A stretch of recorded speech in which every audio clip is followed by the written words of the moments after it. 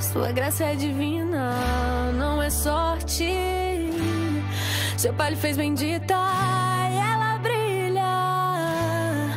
Grande menina, ela pode, só não sabia.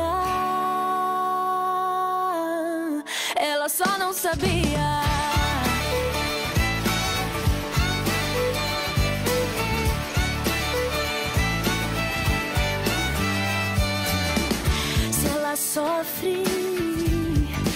Faz poesia pra que decote.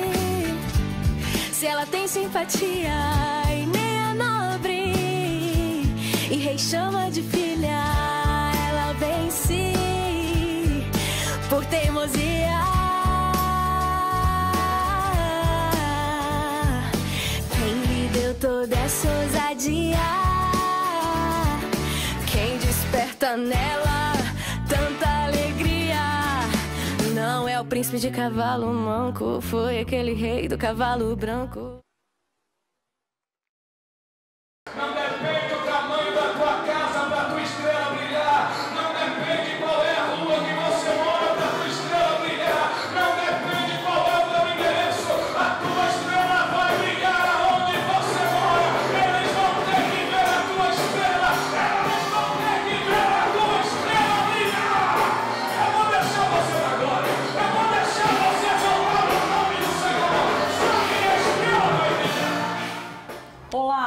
Você vai conhecer o testemunho de vida do pastor Arli Teodoro, que conheceu Jesus aos 16 anos de idade. Não é isso mesmo, pastor? É isso mesmo, com 16 anos de idade. Aos 16 anos de idade, o senhor teve um encontro com Deus e também uma visita aos céus. Conta pra gente, como foi isso, pastor? Bom, aconteceu da seguinte forma, Patrícia. Eu fui a uma igreja, me converti, eu tinha três meses de convertido. E quando eu cheguei a essa igreja, havia um pastor pregando, convidado. E nesse pastor convidado, ele falando, ele disse que Deus estava levantando alguns missionários ali. E que quem sentisse, levantasse a mão. E eu, com 16 anos, levantei a minha mão e disse: Eu quero ser um missionário. Me aproximei do altar e esse pastor, olhando para mim, ele disse algumas coisas que eu nunca tinha escutado ninguém falar. Ele disse que Deus ia me levar a vários países, ele disse que Deus ia me usar de uma forma tremenda. Ele via multidões na minha frente, mas eu não sabia quem era Deus. Eu não sabia quem era esse Deus que usava esse pastor. E então, nesse momento, eu cheguei em casa e fui orar. Eu não sabia nem orar, para falar a verdade. Eu dobrei os joelhos e disse: Deus, o Senhor disse que eu vou trabalhar para o Senhor. O Senhor disse que eu vou em vários países. Mas eu nem te conheço. Eu nem sei quem é o Senhor. Como é que eu vou trabalhar para quem eu não conheço? Eu fui sincero com Deus. Eu disse: se o Senhor quer que eu trabalhe para o Senhor, então deixa eu te conhecer. Me leva em cima. Me mostra quem é o Senhor. E foi aí que tudo começou. Não tinha lido Bíblia ainda, não conhecia nada de Deus, mas eu tinha sede de conhecer Deus. E aí, deitado no meu quarto, para dormir, tudo fechado, luz apagada, de repente atravessa a porta um anjo, que hoje eu sei que é um anjo, porque veio na forma de um homem, um homem claro, branco, e ele atravessou a porta e veio na minha direção. E eu disse: Pronto, pedi para conhecer a Deus e vou morrer. Porque a sensação das coisas espirituais é de temor. E eu tive temor naquela hora. E esse anjo se aproximou de mim. E quando chegou bem próximo, ele estendeu a mão para que eu desse a mão para ele. Aleluia. E no meu entendimento eu disse: Ele quer que eu dê a mão para ele. E eu fiz assim com a mão. E quando eu estendi a mão, ele tocando na minha mão, tirou o meu espírito de dentro do meu corpo, como se arrancasse mesmo. Ele pegou e puxou. E o meu espírito saiu do meu corpo. E eu fiquei do lado do anjo, olhando para o meu corpo, deitado. Que experiência incrível. Fantástica. E ele olhou para mim e disse assim: a partir de agora, nós vamos a um lugar aonde tem alguém, aleluia, eu não sei, aleluia, muito importante, que quer falar com você. E nós começamos a subir. O interessante desse testemunho que eu quero que vocês ouçam é: quando a gente começou a subir, foi lento. E eu comecei a observar as coisas, a atmosfera, as estrelas. Uma das coisas que me chamou a atenção foi um arco muito grande que corta a terra. E esse arco que corta a terra, que a gente chama de arco-íris, lá tem várias cores. E eu dizia comigo mesmo, estranho, porque para nós lá na terra aparecem cinco cores. E aqui tem tantas cores. E continuamos subindo. Continuamos essa subida e no momento que a gente ia subindo, ele ia falando para mim o que era cada coisa, o nome das estrelas, aleluia. E continuamos subindo. Passamos por uma outra etapa onde alguns seres começaram a me atacar. Eu não via esses seres, é, eram como sombras, e eles vinham sobre mim. E no momento que eles vinham, esse anjo segurou mais forte na minha mão e disse: Não temas, enquanto eu estiver contigo, eles não podem fazer nada com você. Aleluia. Aquilo me deu mais força. Continuamos subindo. No momento em que nós chegamos a um patamar, ele disse assim: Pare aqui. E nós paramos. E ele disse: Agora, aguarde, porque ele vem falar contigo. Aleluia. Glória a Deus. Nós paramos e de repente, no céu, acima de onde nós estávamos, brilhou uma luz.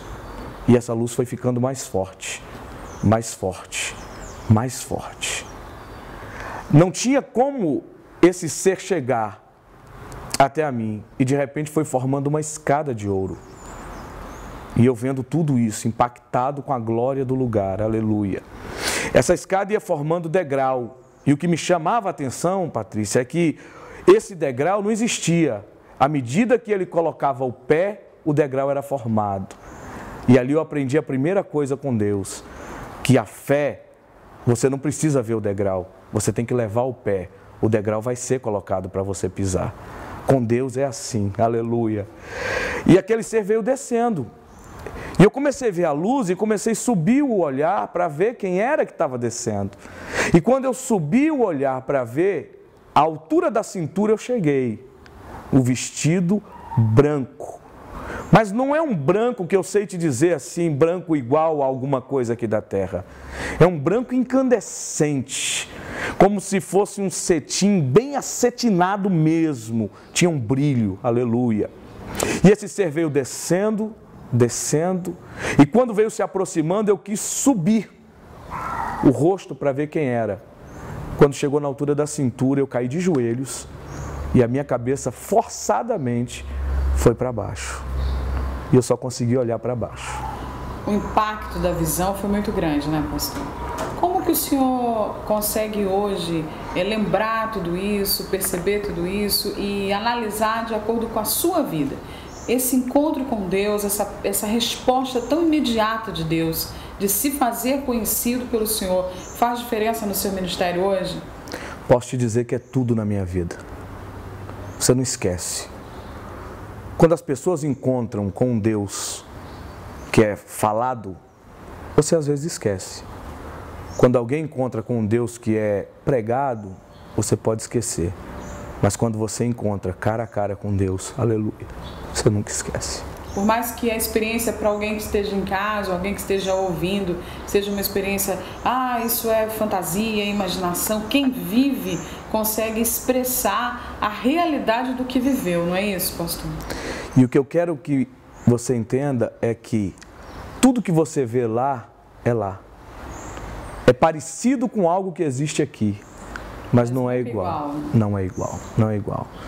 Então, nesse momento do que ele começou a descer, Patrícia, ele veio chegando, se aproximando de mim, e a minha cabeça curvada, e eu tentando, forçando para ver quem era que vinha.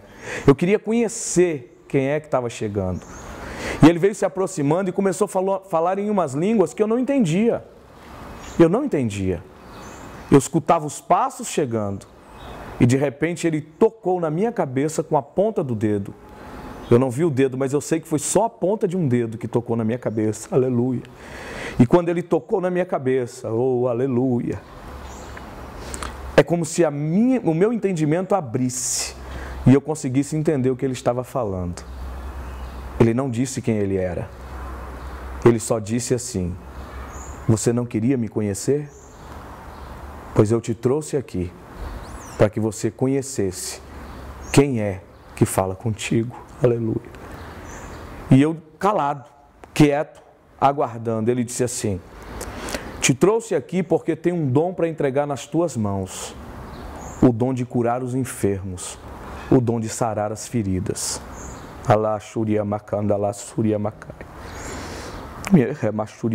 Deus me tomou agora porque olhando para você, eu acabei de ver um, um, um aleluia, um um raio passando por cima da tua cabeça. A presença de Deus está aqui, aleluia. Glória a Deus. Aleluia. Quando ele disse que tinha esse plano na minha vida e esse projeto, ele disse: Eu vou te levar nestes países. Eu consigo lembrar três nomes: Portugal, Inglaterra, Estados Unidos. Os outros eu não consigo lembrar. Ele disse assim: Vou te usar de uma forma que muitos não vão entender. Vou te usar de uma forma tão tremenda que as pessoas vão passar a acreditar que eu existo através do poder que eu estou liberando sobre a sua vida. E naquele momento ele estendeu a mão sobre a minha cabeça. E ele não me ungiu com um óleozinho na testa, não, aleluia. Quando ele colocou a mão, é como se jorrasse óleo da mão. É como se o óleo já tivesse, sabe, internamente na mão e aquilo ia passando, ia descendo sobre o meu corpo e como se fosse me untando com óleo, completamente. Aleluia, glória a Deus. E ele disse para mim: Vou te usar para curar os enfermos. Repetiu: Vou te usar para libertar os oprimidos. Aonde você passar, eu vou lhe usar. E parou. Eu curvei a cabeça, do jeito que ela estava, eu fechei os olhos, senti algo muito forte descendo sobre a minha vida, aleluia. Algo muito forte foi descendo, foi tomando o meu ser, e com a cabeça ainda curvada, abri os olhos de novo, e ele disse para mim o que eu quero dizer aqui agora, porque isso é parte da minha vida. Ele disse para mim duas coisas você vai fazer. Lembra disso. Primeiro, a glória é minha, não é sua. Eu vou lhe usar, mas a glória é minha. Segundo, lembra-te dos menos favorecidos, porque são eles os que mais precisam lá embaixo. E eu nunca mais esqueci disso. E segundo, se a gente não ajudar os necessitados, a gente não está fazendo a vontade de Deus. Pessoas em vários lugares do mundo, eu creio aqui na Bahia principalmente, em todo o interior, enfim, em todo o Brasil, conhecem o seu ministério. Às vezes a gente publica alguma foto, marca o Senhor, as pessoas comentam embaixo. Já teve na minha igreja, ele teve aqui, foi uma benção e tal. Nesses 20 anos de caminhada, nesses mais de 20 anos de caminhada, são inúmeros os milagres. O senhor teve outros encontros com Deus, outros momentos de intimidade profunda com o Senhor que o senhor possa estar revelando para gente? Sim, tive outros momentos, não como este, esse foi único. Este foi momento, é esse momento, é assim, Patrícia, eu, é algo que aconteceu comigo que talvez não vai acontecer mais, nunca mais. Foi para marcar a sua vida. Foi para marcar a minha vida e a minha história e para eu não esquecer de que eu tenho uma obra para fazer para Deus. Tiveram outros encontros, depois Deus me, me levou já a um lugar onde Ele falou comigo sobre uma obra que eu estaria fazendo nos Estados Unidos e também uma obra que eu faria na Escócia. E eu nem conhecia a Escócia, conheci os Estados Unidos, eu morei nos Estados Unidos um ano e meio. E aí Deus falou comigo que era para eu preparar o passaporte, que eu estaria indo nesses dois países para que Deus fizesse algo nesses lugares.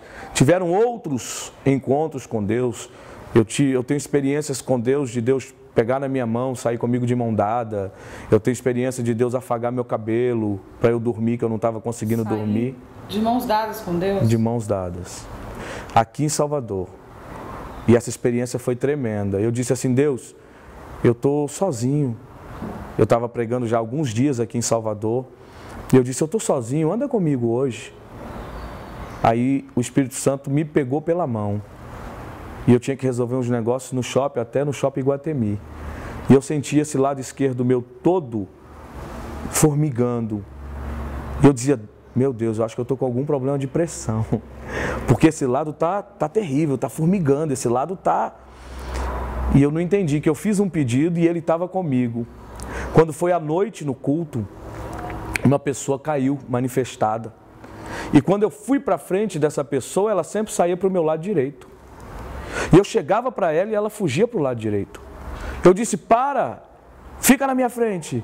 E ele disse: Eu não posso, porque tem alguém aí do seu lado esquerdo, eu não posso com esse que está do seu lado esquerdo. Aleluia.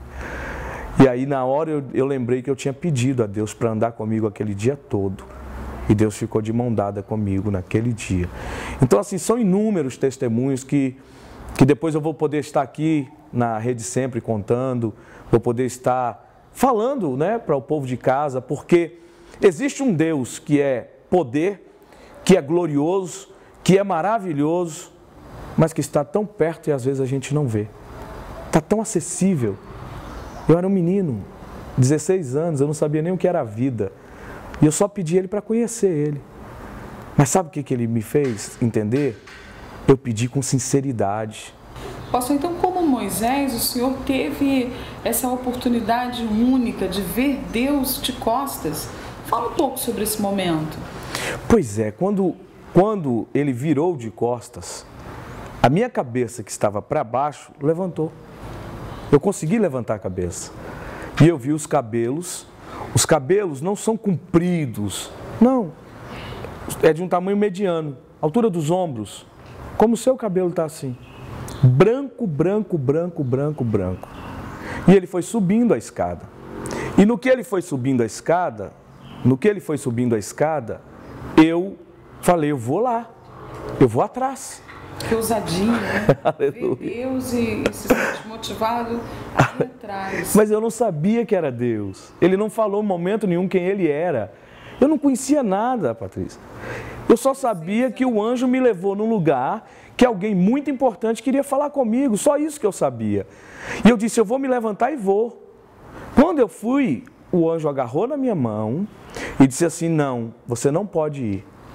Agora você vai descer e cumprir tudo que ele falou aqui em cima. Mas ainda me deixou por um pouco de tempo. E eu vi quando ele subiu, os céus abertos, aleluia, glória a Deus. E quando eu vi os céus abertos, eu vi a cidade. É uma cidade pronta, preparada, pronta, como se fosse uma cidade construída no alto. E ela vai ser colocada em algum lugar. Aleluia. Glória a Deus. Nossa, que coisa linda. Glória a Deus. O senhor crê na visão de que o céu vem para a terra? É, eu, eu vi dessa forma. O que que eu vi? Uma cidade toda pronta. E aí ele subia. Quando ele entrava na cidade, eu pude ver as mansões. E aí quando o que me chamou a atenção é que eu olhava as mansões, são enormes. E tinha uma plaquinha do lado de fora, como escrito em bronze, e era escrito um nome só. E eu dizia, mas uma mansão dessa para uma pessoa? E eu dizia, então é assim? Cada um vai ter uma casa? Cada um vai morar em uma mansão? E aí o anjo disse: está na hora de descer. Está na hora de descer e cumprir tudo o que ele falou contigo aqui em cima. Glória a Deus. O interessante, Patrícia, é que a ida ele foi comigo bem devagar. Mas na volta ele me pegou e tipo, eu já estava no quarto. E da mesma forma, me empresta sua mão, por favor.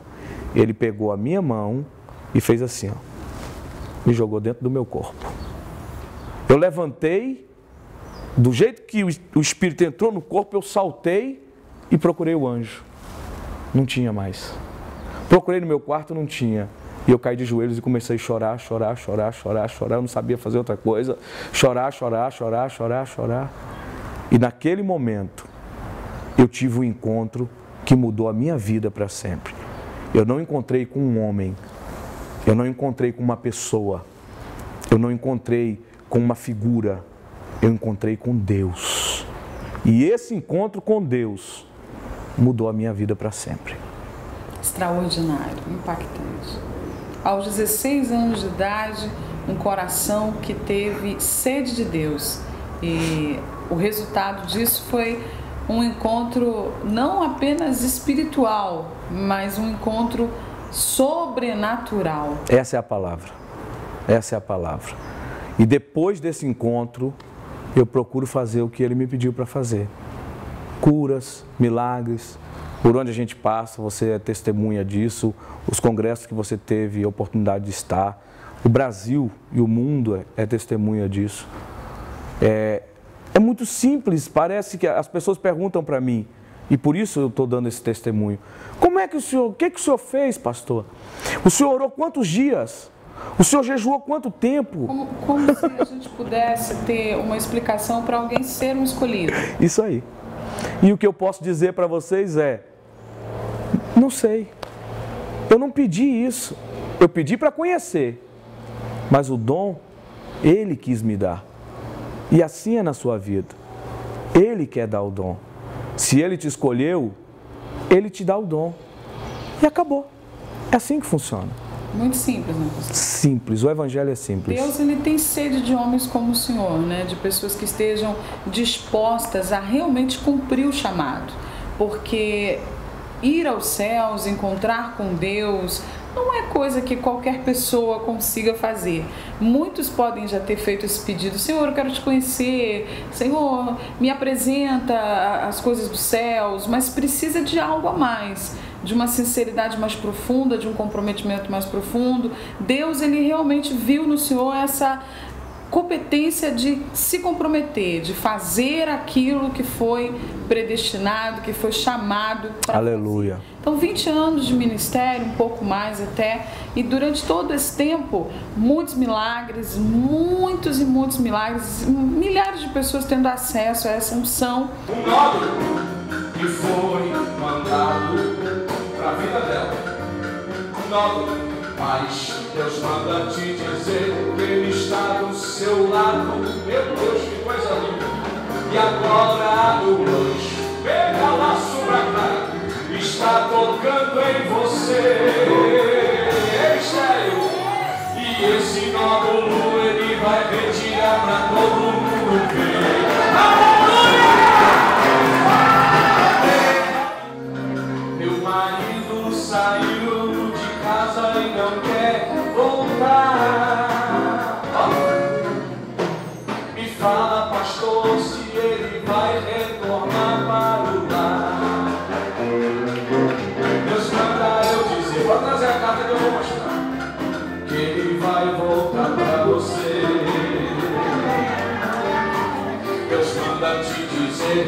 Ele vai voltar pra casa. Ainda que ele disse assim, nunca mais piso aqui. Deus manda te dizer que tem hoje um presente pra ti. É a reconciliação que ela estava pedindo. Fala sempre os curiosos, as pessoas que querem respostas, porque a própria Bíblia diz daqueles que queriam ver para crer, e às vezes as pessoas nem vendo elas conseguem crer, porque É a fé é um dom realmente que vem de Deus. A gente não tem fé porque a gente quer, é uma graça de Deus que nos leva a crer nele cada vez mais. Mas a gente sabe que o Senhor hoje tem a igreja fonte de vida. Nada mais do que o próprio Jesus, né? A nossa É. fonte de vida. Aleluia. E eu conheço um pouquinho da história do Senhor, você já falou comigo aqui nos- nas conversas, né, em outros momentos também, sobre essa resistência que o Senhor teve até em abrir a igreja, porque o Senhor ficou com receio de, por conta disso, parar de cumprir o chamado, que é esse chamado missionário, de estar nos congressos, de estar nos municípios, nas cidades pequenas, nas grandes, nos menores e nos maiores púlpitos, porque não são todos os pregadores que conseguem dimensionar isso, né? A unção de Deus é no lugar que Deus quer. É isso aí. Então, se vai na igreja simples, vai numa igreja grande, isso é muito lindo no ministério do Senhor. E a fonte de vida parece que lhe amedrontou a princípio, né? Será que eu vou não mais cumprir o propósito de Deus? Mas a gente percebe que o Senhor entendeu que faz parte do propósito de Deus a fonte de vida, que já está fazendo um ano. Eu queria um que você contasse um pouco desse testemunho também, dessa parte do momento da vida do Senhor, de decidir por abrir uma igreja. Porque muita gente abre negócios, né? abre colégios, abre culto, mas abrir uma igreja, abrir a casa de Deus depois de ter estado com Deus aos 16 anos, 20 anos depois, o Senhor está abrindo um templo para adorá-lo e para receber o povo. Como é isso, pastor?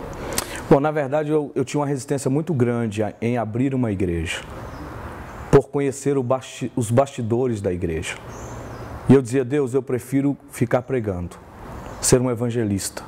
Eu prefiro continuar abençoando as vidas. Mas em Israel, em 2012, eu fiz uma viagem a Israel. E em uma das noites em Jerusalém, o Senhor me visitou. E nessa visitação de Deus, ele disse assim: Eu estou trocando o seu ministério. E ele me mostrava uma igreja e dizia que eu ia parar um pouco nessa igreja. E eu dizia para Deus assim: Eu não quero, eu não quero, Deus. Para mim não é bom. Eu prefiro continuar pregando continuar viajando. E Deus usou uma palavra assim: é necessário. E essa palavra é necessário você encontra no Evangelho de João, no capítulo 4, quando Jesus passa por Samaria e ele tem um encontro com uma mulher samaritana no poço. E, ele, e a Bíblia começa esse texto dizendo: era necessário que ele passasse por Samaria. Então, quando Deus disse é necessário, eu entendi, tem que ser feito. Voltei à vitória, comecei culto toda sexta-feira no monte. Eu gosto de orar no monte. E aí eu ia orar no monte e um grupo de pessoas me acompanhou para orar no monte. Esse grupo de pessoas começou a querer a igreja. Eu aluguei um cerimonial e comecei um culto na quarta-feira. E comigo eu dizia assim: eu vou fazer um culto de quarta e continuo viajando. Eu faço só um culto na quarta e continuo viajando. O culto de quarta começou a ganhar almas para Jesus. E as pessoas pediram um culto domingo. E eu dizia: não, gente, aqui é só um culto. Domingo vocês vão cada um para uma igreja, porque procura uma igreja, porque aqui é só um culto. E o povo: não, pastor, nós queremos ficar aqui. Aí eu comecei, aluguei o, o cerimonial no domingo. E agora há dois meses que a gente conseguiu Dois meses? Dois meses. Maravilha. Que a gente conseguiu um salão. Já estamos reunindo nesse salão a Fonte de Vida, uma igreja que nasceu de Deus. E a minha resistência foi: Deus, se é para abrir uma igreja, é para ser diferente, é para fazer diferença, é para mudar a imagem do que o povo acha que é a igreja aí fora. Então, quem conhece a Fonte de Vida, vê que a Fonte de Vida é uma igreja diferente. Ela não é nem melhor e nem pior que as outras. Ela é diferente. Só isso. Louvado seja Deus. O Senhor fala com, muito, com muita firmeza. Né? A gente sabe que todo homem, toda mulher passa por crises de identidade na vida. Você pensa, ah, era para eu fazer isso, mas eu fiz aquilo. Será que se eu tivesse feito isso? O senhor já passou por alguma crise? Ou desde o começo o senhor sempre teve certeza do chamado? Ou mesmo enfrentando as crises? Fala um pouquinho do homem, Arli Teodoro. Menina, falar da gente é tão difícil, mas passo crises, porque você, por mais que tenha um chamado, é um ser humano. Não somos super-heróis. Fiz muitas coisas que achava que era certo e não era, tentando sair do propósito. Sabe qual foi meu grande medo desde o início, eu não queria depender financeiramente da igreja. Eu quero, eu queria ser um empresário, ter um dinheiro e com esse dinheiro eu manter a igreja. Esse, esse, esse parece que é um, um raciocínio de, de quase todos os homens de Deus que a gente conhece que tem temor às coisas de Deus, né? Parece que ter o sustento próprio vai assegurar que a igreja vai fluir. Mas Deus não quer muito isso, não, né, pastor? É, na verdade, Deus não quer nada. Mas a, a cobrança de fora é muito grande. Se você sai na rua hoje, você vai escutar alguém dizendo assim: ah, pastor é ladrão. Pastor rouba dinheiro, mas ninguém sabe o que um pastor passa, ninguém sabe o que o pastor faz no dia a dia, ninguém sabe que hora que ele vai dormir, ninguém sabe se ele foi atender alguém. Hoje eu tenho um culto, daqui a pouco às 19h30, eu já fui na casa de uma pessoa fazer processo de libertação. Estou aqui na rede sempre gravando, daqui a pouco eu tenho um culto e meia-noite eu atendo alguém, uma hora da manhã eu atendo alguém. Então, ninguém sabe a vida do pastor. E eu tinha essa cobrança comigo. Tanto é que eu abri a igreja e fiz um voto. E eu disse: durante um ano, essa igreja não vai me dar dinheiro. Eu vou viajar e as minhas viagens vão me manter, vão me sustentar. E a igreja completou um ano agora em maio desde o período que abriu no, no cerimonial até agora, um ano de igreja. Nesse um ano eu cumpri o voto que eu falei com o Senhor, que eu não ia depender da igreja. Só que, na verdade, eu preciso depender da igreja. Por quê? Porque o pastor vive da lã das ovelhas. Mas ele não pode ser mal. Ele não pode arrancar a lã por arrancar. Ele não pode tirar a lã só por tirar. A ovelha ela, ela é tosqueada no tempo certo. Se você tirar a lã no tempo errado, a ovelha morre, porque ela sente frio. Então tem o um período certo, tem a quantidade certa. E hoje, infelizmente, Patrícia, aproveitando que nós estamos aqui nesse papo especialmente espiritual, muitos pastores estão tirando a lã das ovelhas no período errado e estão matando as ovelhas. E é por isso que eu disse: o dia que eu for ser pastor, eu vou ser pastor para fazer a diferença. Bom, para você que está assistindo agora esse programa, o que eu quero te falar, a frase que eu tenho para você é: Deus não desistiu de você. Talvez em algum momento da sua vida o seu pai desistiu de você. Aleluia. Talvez em algum momento da sua vida a sua mãe desistiu de você. Alguém da sua família desistiu. O esposo que te jurou Fidelidade no altar desistiu de você. A esposa desistiu. Mas Deus nunca desistiu de você. E é por isso que você está assistindo esse programa agora. E é por isso que você está ouvindo essa palavra, que não sou eu que estou falando, que é o Espírito Santo que está colocando no meu coração para falar para você. Deus não desiste de você. E não é religião que vai te atrapalhar de conhecer esse Deus. Porque nesse exato momento, eu, como profeta de Deus, profetizo que esse Deus que não desiste de você está entrando aí na sua casa, está tocando no seu coração e está mudando a tua vida e a tua história. Eu profetizo para você que essa lágrima que rolava pelas noites e madrugadas e essa dor que te feria não vai ferir mais, porque Jesus vai preencher esse vazio do seu coração. Ele não desiste de você. Não desiste. Amém. Que palavra linda. O pastor disse que eu ia chorar no começo. Eu estou aqui chorando mesmo, que é muito forte. É lindo a gente poder falar de Deus e poder falar de Deus e falar com Deus. Aleluia. Porque agora nós falamos de Deus. E assim como o Senhor ministrou essa palavra poderosa, assim como eu sei Aleluia. tocada e pessoas em casa Glória a Deus. Nós falamos de Deus até agora. Falamos da experiência do Senhor, falamos dos milagres, mas eu queria também pedir para o Senhor falar com Deus. Amém. E apresentar ao público, apresentar a nossa emissora, apresentar os projetos, orar por nós. A oração é um diálogo com Deus. Com certeza. E assim como ele escutou o seu pedido, Aleluia. aos 16 anos, Aleluia. ele foi capaz de ouvir seu coração e sinceridade quando o Senhor não o conhecia.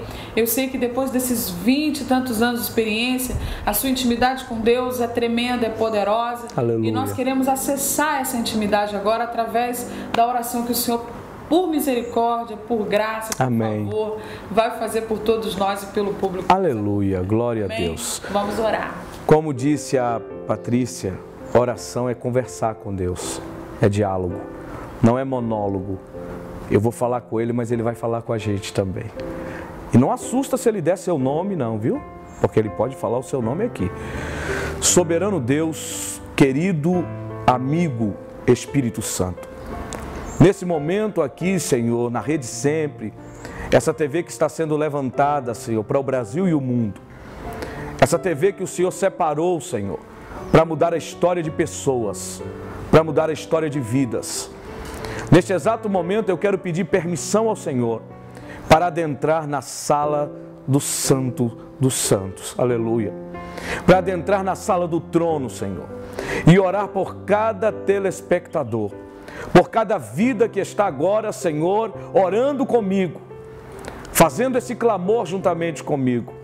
Quero orar pelos teus filhos, pedindo ao Senhor que, da mesma forma que o Senhor se apresentou a mim naquele dia, se apresente a cada um deles. A humanidade está com sede do Senhor. A humanidade sente falta de um Deus real, de um Deus vivo. A humanidade sente falta de sentir a presença do Senhor de verdade, Deus. Eu não estou falando de uma presença que as pessoas falam que sente. Eu estou falando de uma presença que está aqui nesse momento, nesse estúdio. De uma presença que é real, que é poderosa. Uma presença que eu posso sentir. Aleluia. Abençoa cada um dos teus filhos. Senhor Deus, eu quero pedir ao Senhor que o Senhor venha derramar a tua graça, a tua unção e a presença do teu Espírito Santo sobre cada coração. Que o amor, Senhor, que o amor que é maior do que o amor de uma mãe, que é o teu amor por nós, possa, Senhor, chegar ao coração de cada um. E que acima de tudo, Senhor, nós possamos concluir os nossos sonhos e os nossos objetivos, que é fazer o teu nome engrandecido em toda a terra. Que toda honra, que toda glória, que todo louvor seja para o Senhor que fez os céus e a terra. Que diminua o homem e cresça o Deus Todo-Poderoso. Eu abençoo Salvador, eu abençoo o Brasil, eu abençoo o mundo debaixo da potente mão do verdadeiro Deus o Deus que opera milagres. Em nome de Jesus. Amém. Amém. Que maravilha. Glória a Deus. Poderosa entrando aí no seu lar. Pastor, muito obrigado Aleluia. pela sua presença. Glória a Deus. Muito obrigado pelo seu testemunho. Amém. Obrigado pelas orações. Obrigado porque o Senhor um dia pediu a Deus para conhecê-lo. Amém. Glória a Deus. Deus. foi esse pedido sincero que trouxe para a gente toda essa graça, esse favor. Aleluia. Eu quero pedir para o Senhor levar esse livro meu aqui, ó, Vivendo oh, Obrigado. Para Melissa. Melissa é a esposa do pastor. Isso. Arli, a gente já conhece o nome, porque ele a cada dez palavras, nove é Melissa. Então a gente já conhece do amor dele. Os filhos também tem dois filhos é Gabriel, Gabriel e Brunelli. Brunelli. Então, um beijo para vocês, que Deus continue abençoando essa família linda, abençoando todo o povo da Fonte de Vida e leva o livro Vivendo Alto. Levo com o maior prazer. Nosso convite para que quando eles estiverem aqui com o Senhor estejam também na Rede 100. Vamos, vamos. E bom, você que está em casa, continue acompanhando os nossos programas direto aqui dos nossos estúdios. Não sai daí. Ela é forte, sua graça é divina, não é sorte seu pai lhe fez bendita e ela brilha. Grande menina, ela pode, só não sabia. Ela só não sabia.